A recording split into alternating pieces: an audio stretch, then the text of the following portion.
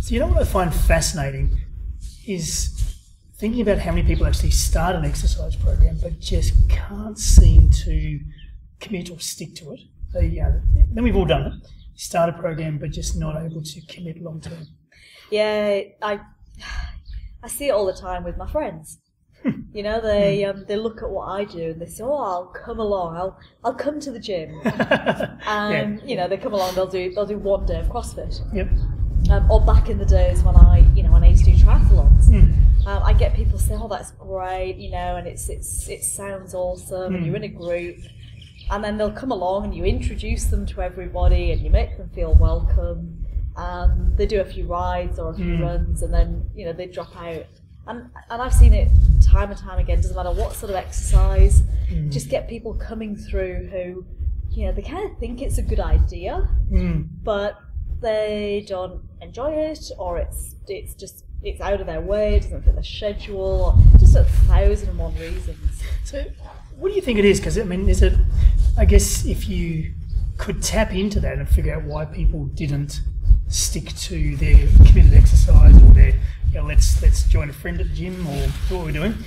What's the key? Is it, is it something in the type of exercise? Is it their is it the exercise they did when they're growing up? What's what's the key to, to getting that trigger?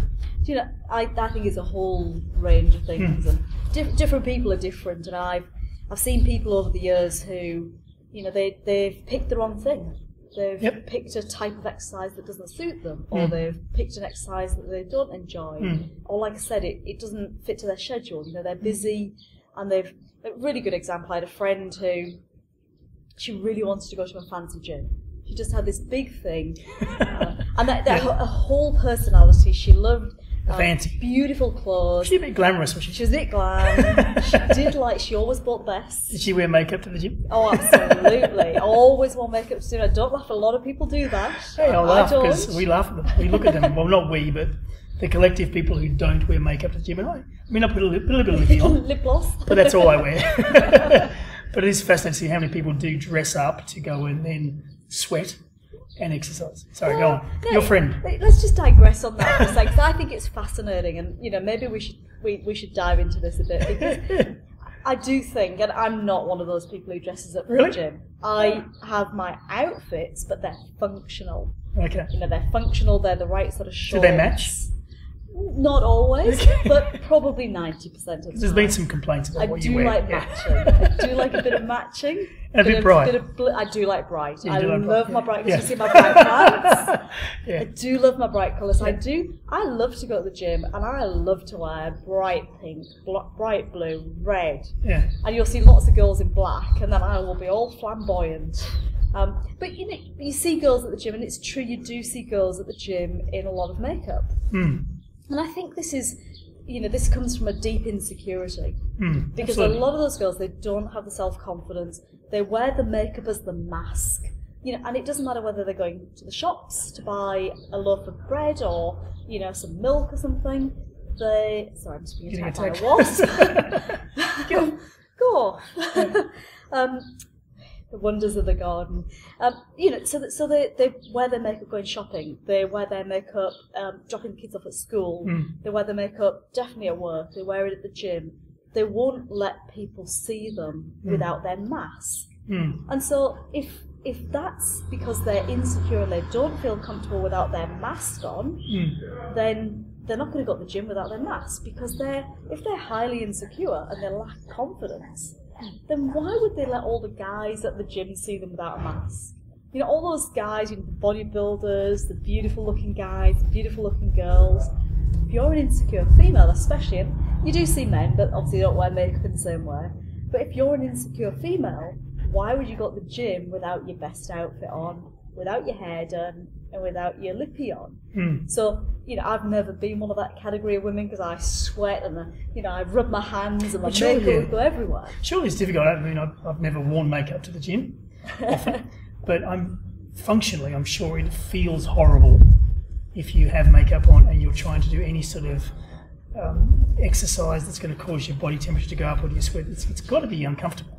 Yeah, and it probably is. And, you know, I, It's going to stop you well, giving 100% sure. possibly. I, I, to be honest, I couldn't say because I've never done that. Mm. My my opinion is if I went to the gym with makeup on, I'd be thinking about my pores, you know, my pores getting blocked, and I'd be thinking about you know getting pimples or something like that. Mm. But again, people who wear makeup all the time, it's all they know. It's a habit. It's a habit, and their face feels the same whether they're at the gym or at work or at the hmm. supermarket or dropping the kids off.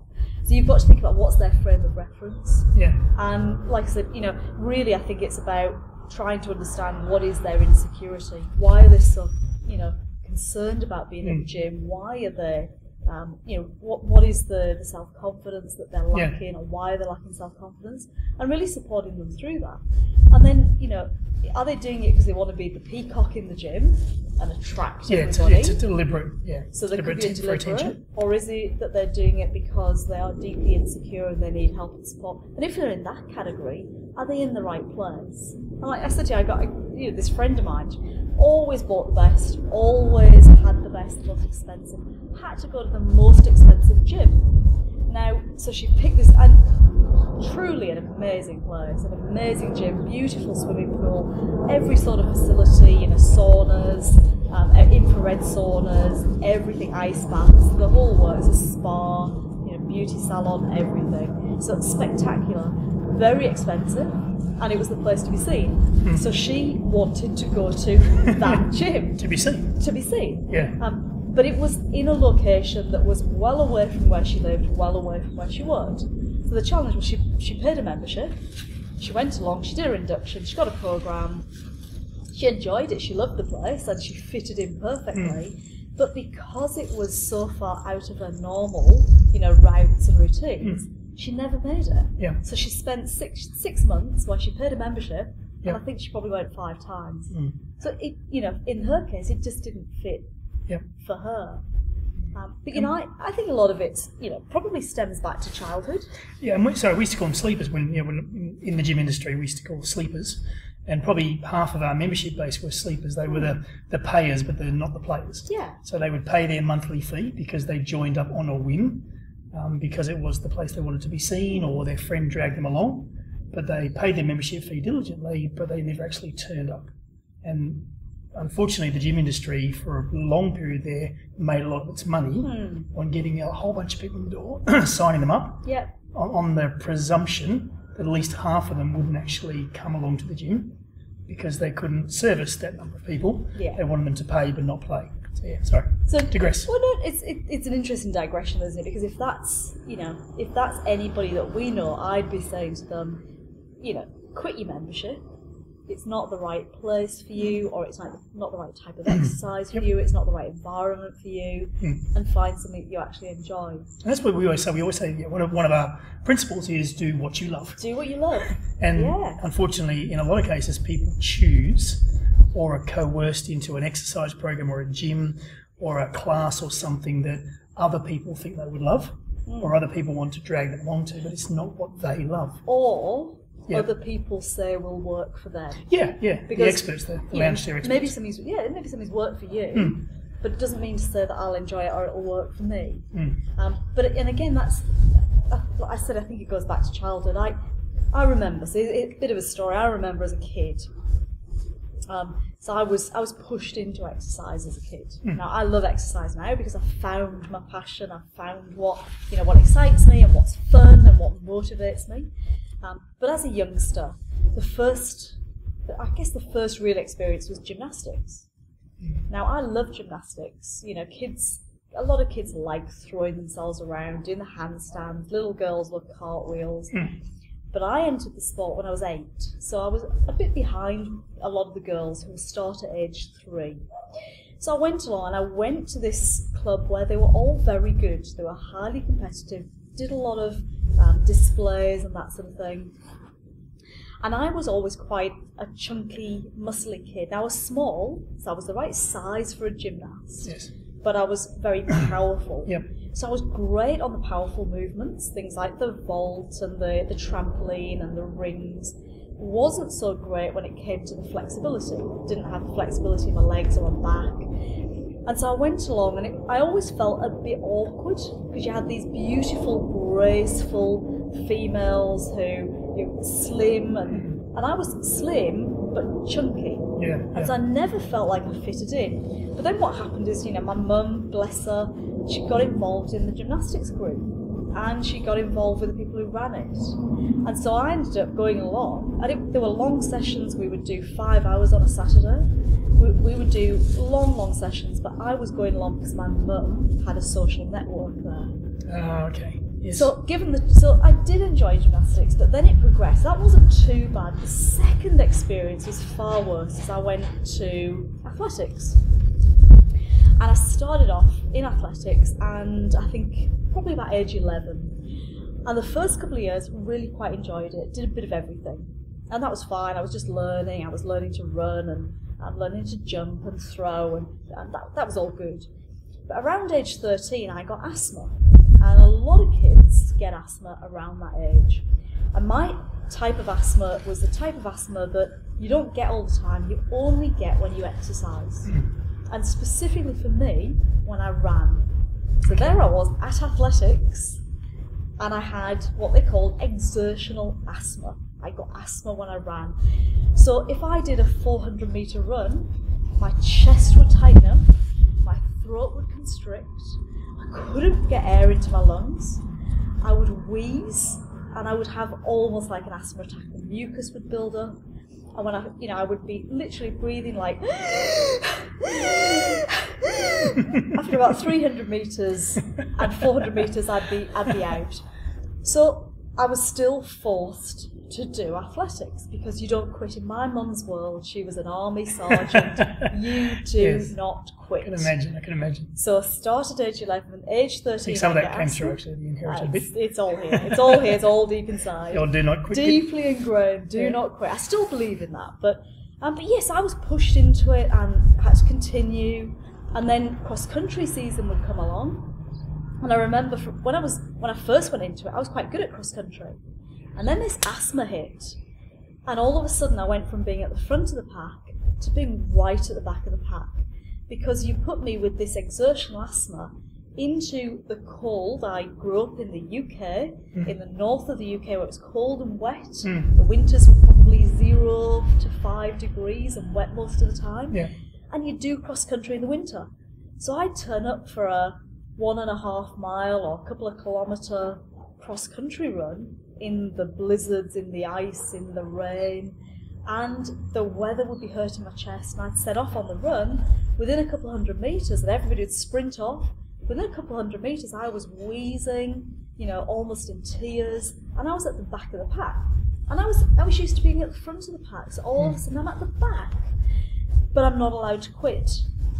And again, my mum gets involved in the committee and the social network. Yep, of course. And she becomes a judge. She becomes a parent helper and she Yes. does all of these things. Yeah. And so all of a sudden, you know, here I am, age 13, that tender age, just going into my teenage years, and I'm forced to do these cross countries, which are hurting me. I'm at the back of the pack, they're knocking my self confidence. So, to be honest, that whole experience I'm grateful for now because it's made me the sort of person who doesn't quit. Hmm. I'm strong, I'm resilient. Fuck, I don't care if I'm last. Hmm. It, I'll, I'll grow from it. Hmm. But at the time, I hated it with a passion. And I, and I went right through till I was 18 when I moved away and I went to university. You ran away. Um, I pretty much ran away to university. Yeah. But it was 18, so from 13 to 18, that's years Yeah. doing exercise I hated. So what's the impact though? So if you know, if we take we play that out, so mine was a bit different. Mine, I had judo and soccer, um, but they were they were sports that I loved, and so a different a different upbringing. Both the soccer was something I loved to do, and family were very supportive, and I was allowed to do it and not do it if I didn't want to. Um, and they're both there was team sport, so I enjoyed the team bit. wasn't very good at it, but I enjoyed the team piece. Um, and then judo was the self confidence builder. It was, it was a martial art, it was a sport, it was a confidence piece. So my memories of sport or exercise as a kid were fond memories, Mm. you know, were positive memories. So I didn't get that negativity around being forced or made to do something that was uncomfortable. Mm. So, how does the choices that we make as kids, or the choice that our parents make for us as kids, how does that then play into as adults whether we're successful or challenged mm. in choosing exercise? You know, I, I think there's a few things. I think the first thing is, even if you're forced into it as a kid, what it does is it, it does build a level of fitness that, you know, basically lasts mm. your whole life. Because I certainly know that myself and anybody I work with who's been fit as a kid, they have that memory, they have that muscle memory, oh, and they have the ability to get back to that point. They know that they can do it. It's a lot harder if you've never exercised as a kid. It's a lot harder when you're an adult to get into a regular exercise hmm. program and achieve that level of fitness. Yes. So, sedentary kids are challenged and often become sedentary adult, adults Yeah, I think so. because it just plays through. I think it plays through, and they need a lot more support often to find what they Yep. enjoy Yep. and to be good at. But then I think the second side is if you've been in exercise and you've loved it and you've enjoyed it, then you've already got a feeling for what works for you. Mm. So as an adult, if you're looking for a type of exercise that works, you're probably going to go back to the things that you've enjoyed as a child. There'll be some common themes in there. And that's probably just a point that's probably a good it's a good checkpoint when you as an adult you know, decide all of a sudden I want to get in shape, I want to get well and do some exercise, do some movement. It's probably a good checkpoint to then think back before you go along to your mate's fitness class and think what, what did I do as a kid that I liked? What did I dislike? What was I good at? Mm. What was uncomfortable? What was you know what what what really excited me? Was it team? Was it individual? Was it competitive? Was it endurance? Was it you know weight bearing? And then that will give you a bit of a, a snapshot of what could be the best direction to go in.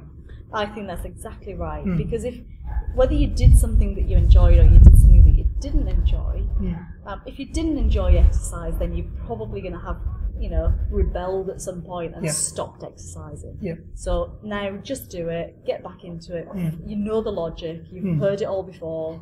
So just do some exercise. Yeah. Find a movement that Yeah. you enjoy. And sorry, I think I think there's a key there, the just do it bit, because we have we have a lot of people, and we meet a lot of people who spend a shitload of time researching the sort of exercise and thinking and planning and talking and debating hmm. about the sort of exercise or movement they should do when they want to get in shape. And by the time they've done their research and done their thinking, they've almost lost that window of enthusiasm and that just do it theme. It's like you've you know it's you, you know exercise is needed. There is you know there- there's no debate around whether exercise is important. It's just a matter of finding what you love and just doing it. And this, you know, you said what what really gives results and what really gives success. Hmm. The people that have the most success, in my opinion, are those that say, right, this is what I am passionate about. It's what I enjoy. It's what I can get out of bed for. Hmm. And it may not be the high intensity. It may not be the perfect exercise. But you're doing something. But you're going to do it, and Yeah. you're going to do it every day. And you're going to come out the other side saying, "Wow, I feel good Mm, mm. because that was fun." Yeah. So find something you enjoy, find something that's fun, and as you said, find something that fits your needs. So if you prefer a team sport, or you prefer working out with a buddy, Yeah. or you prefer something like dancing, Mm. or long walks, or you like solitary exercise, find something that fits you, fits your personality, and fits you your lifestyle. Because And if it doesn't, your if you've got kids and family commitments, but you think you should go and do a gym class, but doing that gym class screws up the kids and the family and the commitments, Yeah. it's always going to be external pressures. Yeah. Whereas if you have if you do a workout at home, which can fit in with the kids and the family and the lifestyle, that may be a better option, and you're going to enjoy it because of those pressures and the noise from the kids and the family and the lifestyle is not going to you know, make you feel negative about it. That's it. So it's making it fit. everybody at the end of the day is unique Hmm. and their situation, their context Yep. is unique. So Yep. think about yourself, Yep. think about your context, come up with ideas, and then just try them, do it. If one doesn't work, there'll be another one out there. And don't beat yourself up about the fact that that mm. dance class didn't work. Yeah. out. Go and look for something else. Maybe yoga's better for you. Yep. Maybe running's better for you. Maybe walking's better. Start, make the commitment, have a go. Just do it. If it doesn't work, move on to the next one. Excellent. All right, let's go. Cool, let's go exercise.